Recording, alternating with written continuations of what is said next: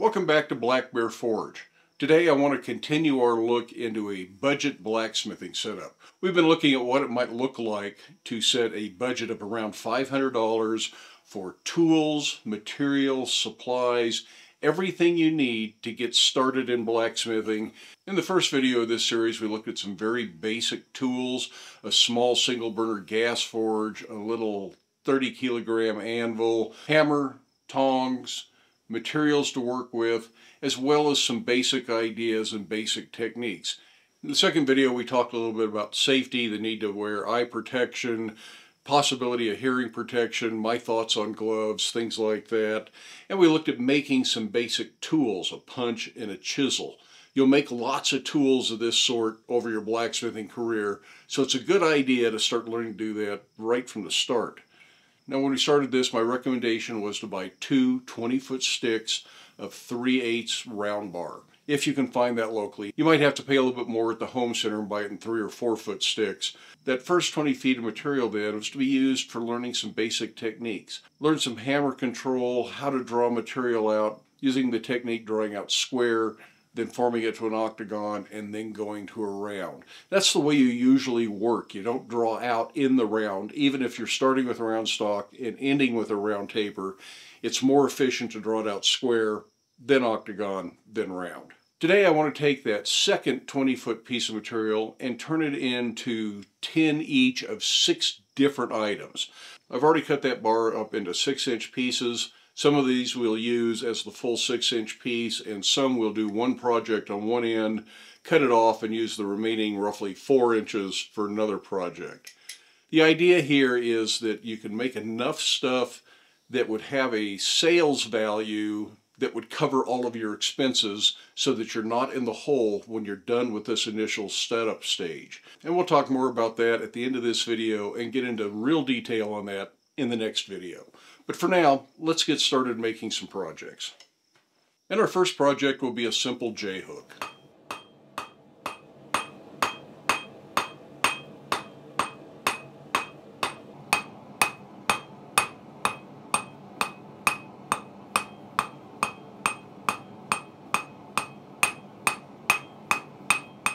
Forging simple hooks is a great way to practice fundamental skills the skill of drawing a piece out square, then octagon, and then round is one of the most basic things in blacksmithing, and you really need to get good at that. You need to practice it hundreds of times before you start to become proficient. So making a batch of hooks like this is a great way to do that.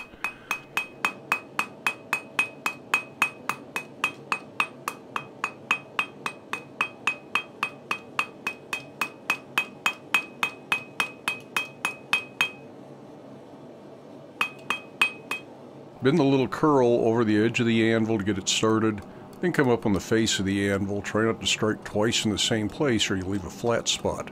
So another thing you'll need to practice a lot to become really good at it. Heck, I'm still not that good at it. If you cool the curl off, you're less likely to damage it if you accidentally strike it, and sometimes you have no choice but to strike it while you're bending the hook. Bending in a jig is probably easier, more reliable, and a lot less likely to damage the curl. But since we haven't made any jigs yet, we're going to do it over the horn. With that done, we'll move on to the finial end. I'm just going to put a really simple spade finial on this.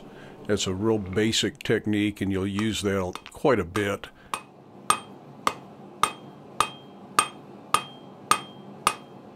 This starts with a short square taper and then some half face blows over the edge of the anvil.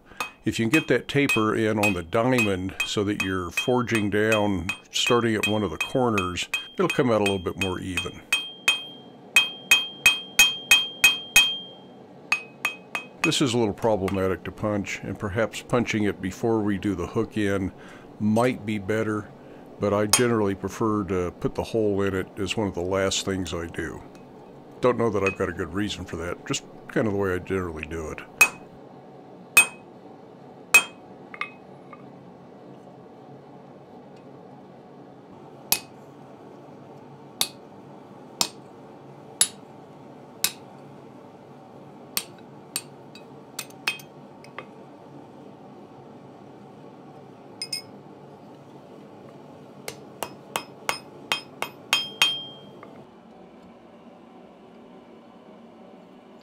And of course, if things don't line up, heat it up, put it in the vise, and give it a little twist here and a tweak there, and you ought to be able to get everything to line up just the way you want it.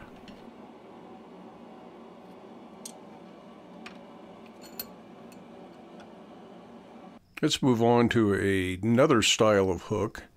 This one has a flat taper or a, kind of a flaring taper and a bit of a fishtail scroll. It's not a real fishtail, but it's kind of getting to that point.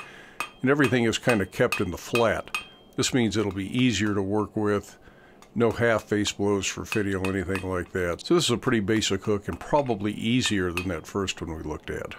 First end's where the holes will go, and then we're going to do a very similar taper for the actual hook. The hook takes up about two-thirds of the material and the hanging portion takes up about a third, I suppose. Nothing magical about any of these dimensions, or the styles for that matter. Just use your imagination. The main thing is to practice techniques and put a lot of repetition into the same thing so you can get good at it.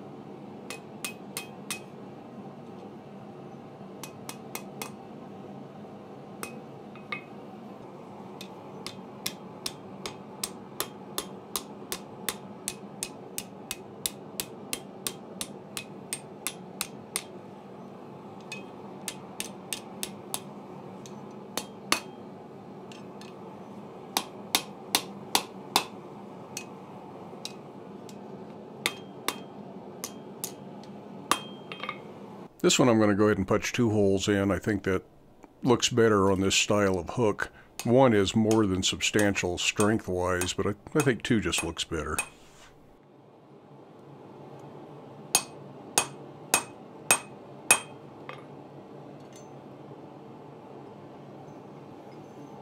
If you notice on the first hook, it wanted to collapse down into the hardy hole because it was thin. Using a bolster plate, if you have one available, or a piece of material to make one like we showed in the last video, really makes punching a lot easier. But do remember to keep your punch cool, it will last a lot longer. And this S7 that we made the punches out of is okay to quench in water as long as it's not showing any incandescent color. If it's starting to turn red, let it air cool first.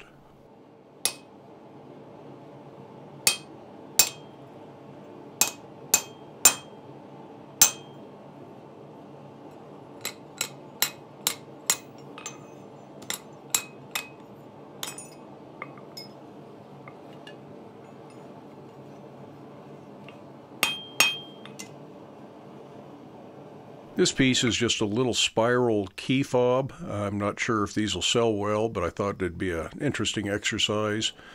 We're going to use about two inches of one of the other six inch bars. The other four inches will turn into something else. And of course, it starts off with the same taper.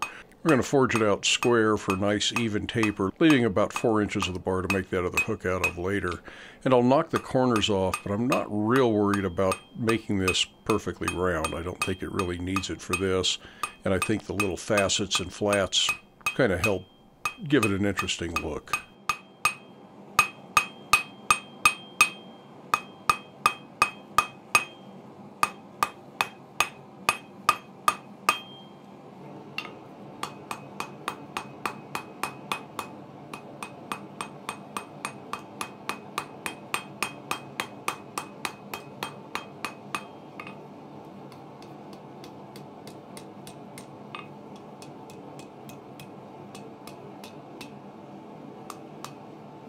Personally, I want this spiral to close up pretty tight, but go ahead and try different things if you want to. Use your imagination and see what you prefer.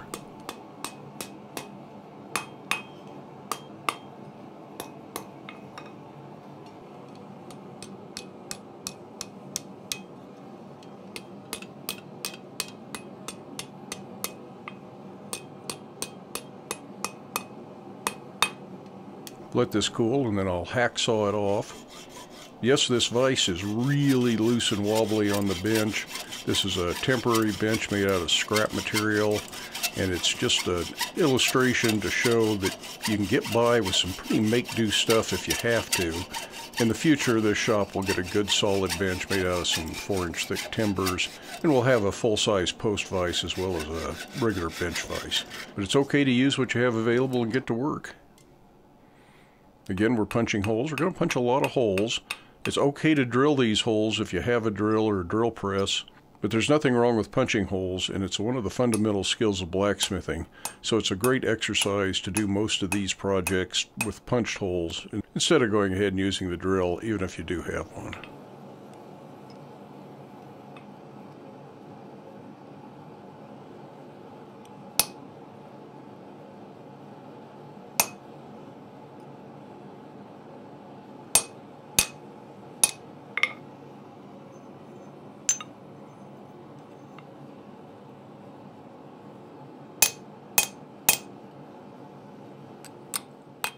Little slug that comes out is called a biscuit. And I'll knock the biscuit out of the bolster plate there. That's all the material that's removed when you punch. You end up losing more material with a drill bit. We're going to use the other four inches of material and make another version of a hook. I can't reach all the way to the far edge of the anvil on the face, but if I move over to the square horn of this little anvil, I can get a better angle at it. My tongs aren't holding me up there. As with so many other things, we're going to start off with that taper.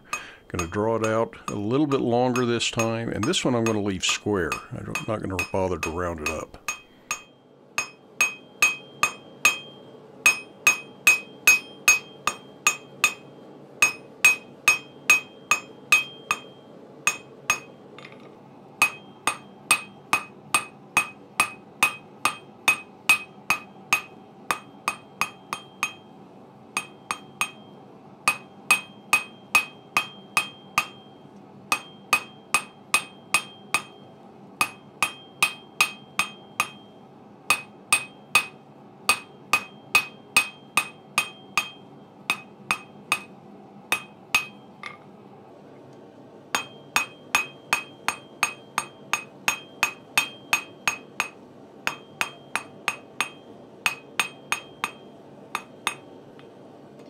I'm go ahead and turn this around and work the other end.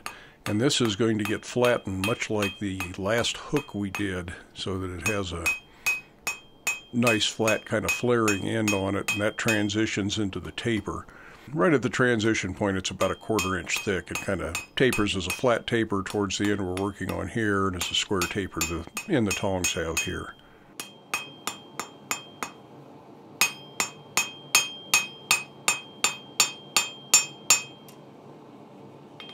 Take as many heats as you need to clean it up, make it look just the way you want it to.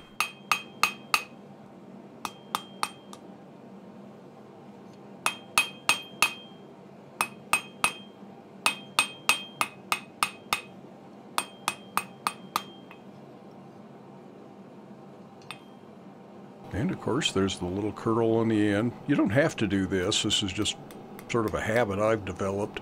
It's not necessary and different hooks look better with different things. You can do all sorts of different things with hooks.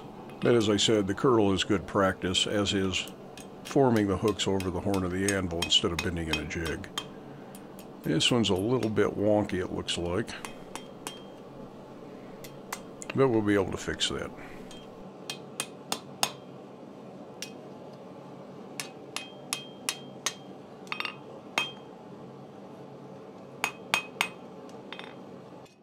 And once again, I think I'm going to go ahead and punch two holes in this. I think two holes just looks right with this. And I'll be using round head wood screws with this, so they look real good and become kind of part of the decorative element of the hook.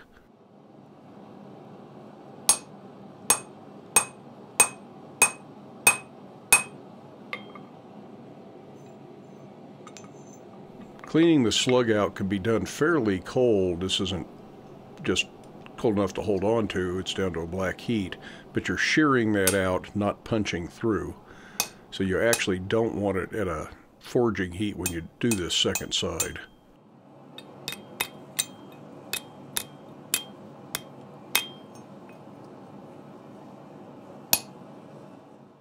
Once again, the flat horn on this little anvil comes in handy to get around where you didn't fit otherwise.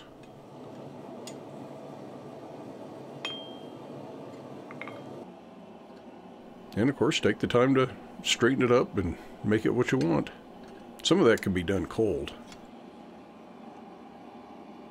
Now let's work on a little leaf. This can be a pendant, perhaps a key ring, maybe something that hangs from the pull cord on a lamp or ceiling fan. Lots of different things you can do with leaves, but they're really good practice.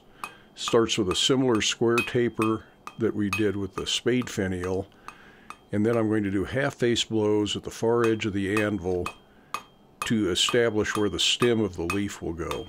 Half face blows are just with the hammer hanging halfway off the edge of the anvil and halfway over the anvil so you create a shoulder.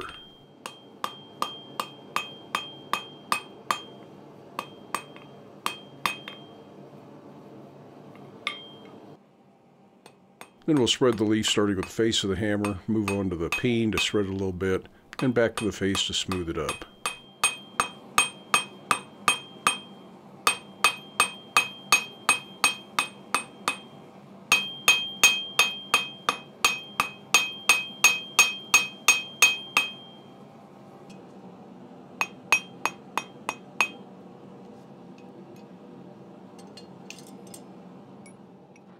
Using the chisel we made from the last video, we're going to give the impression of some veins. A typical leaf would have raised veins, but we're going to go ahead and incise these just because it's a lot faster and easier to do with a chisel. But like most things, there are a lot of different ways you can do leaves. This is just one way.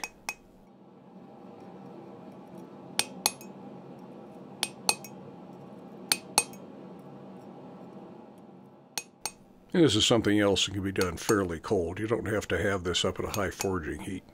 If you do, you need to be really careful not to accidentally cut all the way through.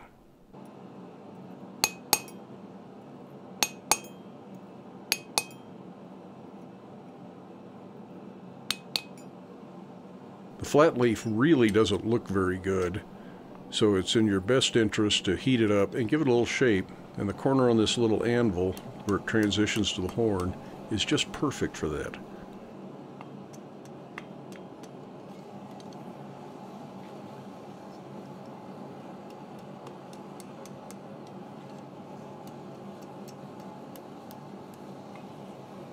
Now we could let this cool and hacksaw it off, but we do have a chisel, and chiseling hot is certainly an option.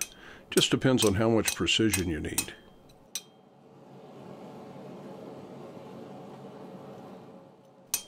We're definitely going to have to make some sort of a hold down for this little anvil. A lot of this would be easier if we could hold on to it.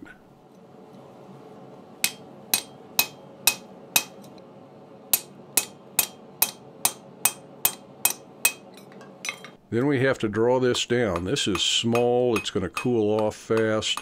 The transition between the stem and the leaf is a stress point. If you work it too cold, it'll be easy to break it there. And it's just kind of fiddly. So this is probably the hardest of all the projects. But if you take your time, go back and forth with the fire with lots of little heats, you'll be able to get this done and you should have something you can be proud of.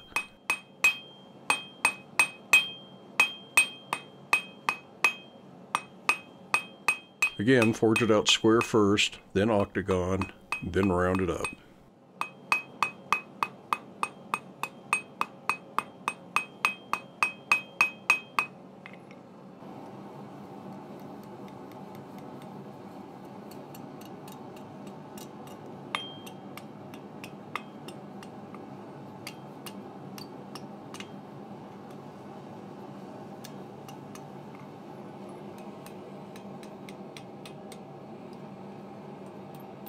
A better pair of tongs would help, but I'm trying to do all of this with the tools that I recommended in the first video, and so far this would be the only pair of tongs that I've talked about.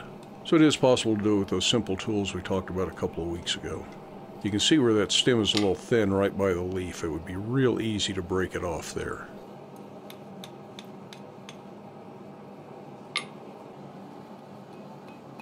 It's a little lopsided, so I'm going to use the punch and kind of drift it back open again. Better to bend it right the first time, but if you need to, this is an option.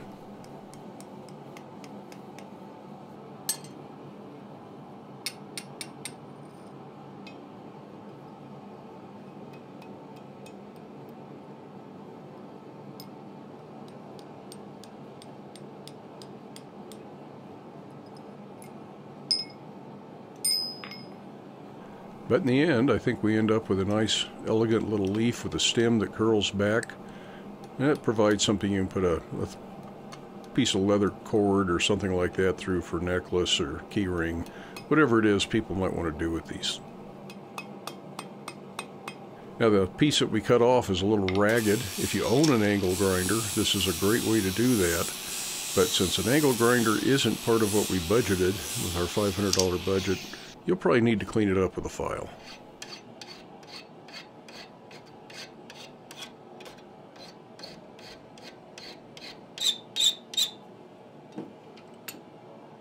This last project, instead of making another hook, let's make a bottle opener. One that doesn't require a big slot punch and drifts and all that kind of stuff. No forge welding. Just starts off with half face blows at the near edge of the anvil. Probably oh, an inch, inch and a half of it is what I'm leaving off here. And I'm going to draw that out long enough to make that loop that you typically see on a bottle opener.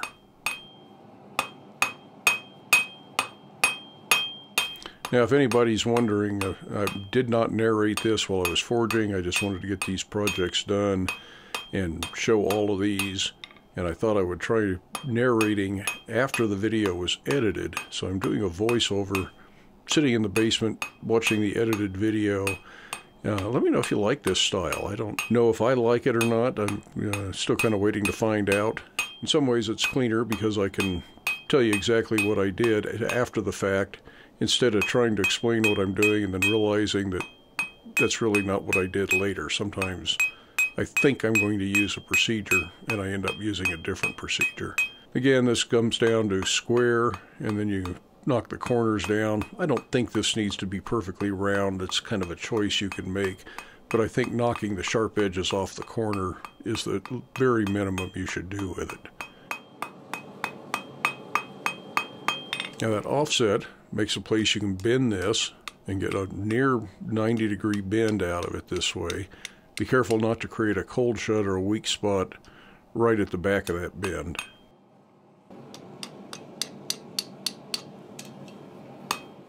I'm going to spread that out flat a little bit.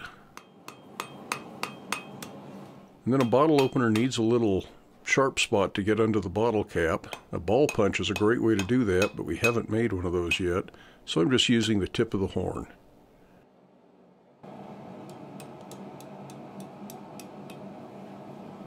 Kind of looks like a gate hook at this point. Something else you could do with this.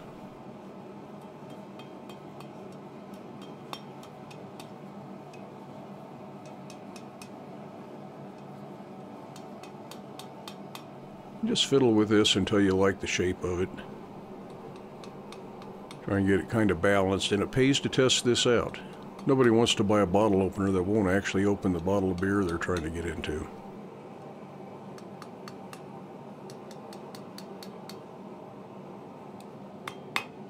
Now the handle could be left around if you wanted to, but I really like it flattened out a little bit. I think that looks a lot better and it gives you just a little bit more practice drawing things out flat and trying to keep it parallel. I do let the end flare some, and I think that just makes for a more elegant tool in the long run.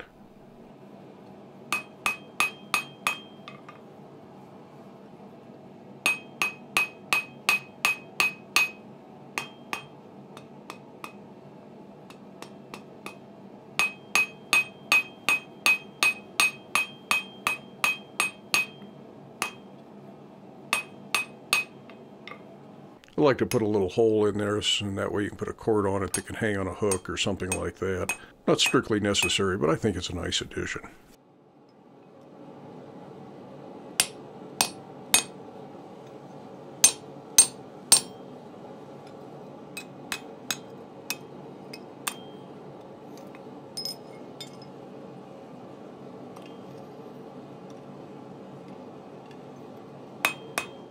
This is also a good place to do a little bit of chisel decoration. I'm just going to make a couple of sets of parallel lines here. Really simple to do. And get one of them a little bit crooked here. We'll see if we can fix that with a file later.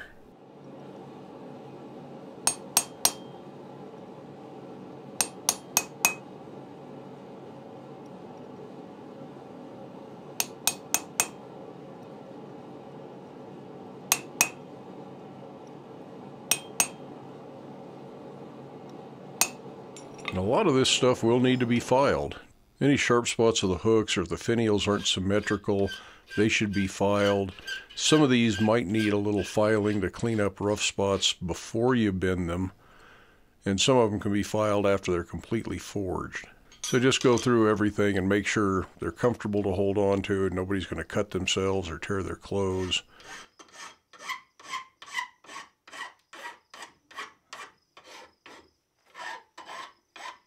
And a half round file can get into those chisel lines and kind of clean them up.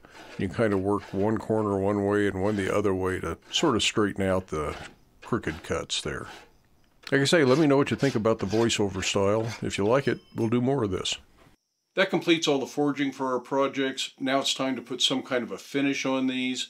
If you've been watching my videos for any length of time, you know my preferred finish has been Johnson's Paste Wax. Unfortunately, it is now out of production, and unless you're fortunate enough, like I am, to have a backstock of it, you're not going to be able to find this. I probably have three or four years of it over there in the shipping container, but there are other alternatives. Zach from ZH Fabrication looked into making his own blend of paste wax. I'll put a link down in the video description along with the price. This actually promises to be better than the Johnson's paste wax was. But other paste waxes like Minwax ought to work as well. You can mix linseed oil, beeswax, and mineral spirits to make your own kind of a paste wax. You can use just straight beeswax or straight paraffin if you want. And you don't have to put wax on them. You can use linseed oil, you can use a clear coat of some sort. Heck, you can paint them with Rust-Oleum, whatever color you want, if that's what you want to do with it. Personally, I like the wax finish, so that's what I'm going to go with. I like for it to be just hot enough to melt the wax, maybe smoke a little, but not too much smoke.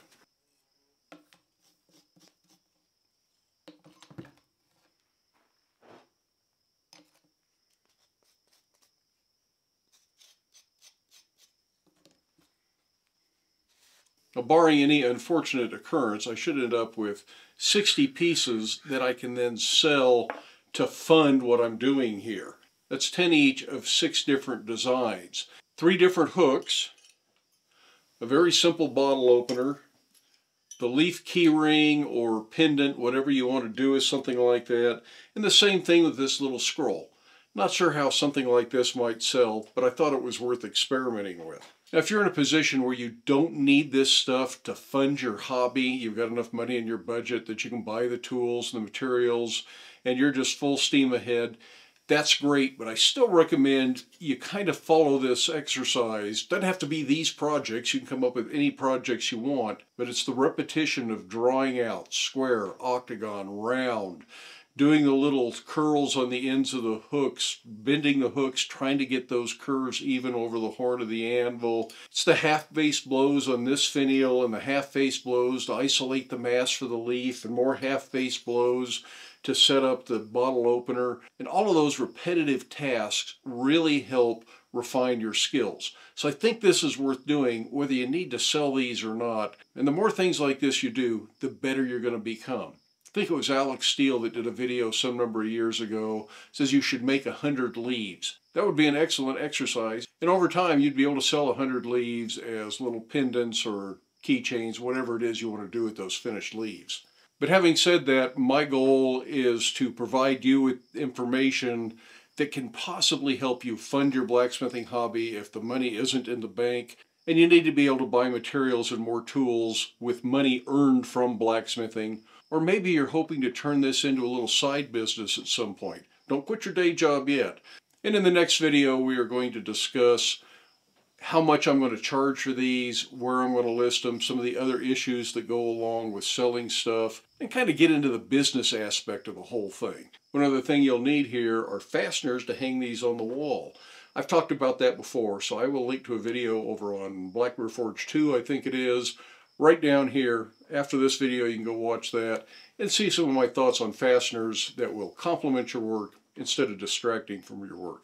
In the meantime, I hope you have time in your day to get out to your shop. Stay safe, wear your safety glasses. We'll see you for the next video.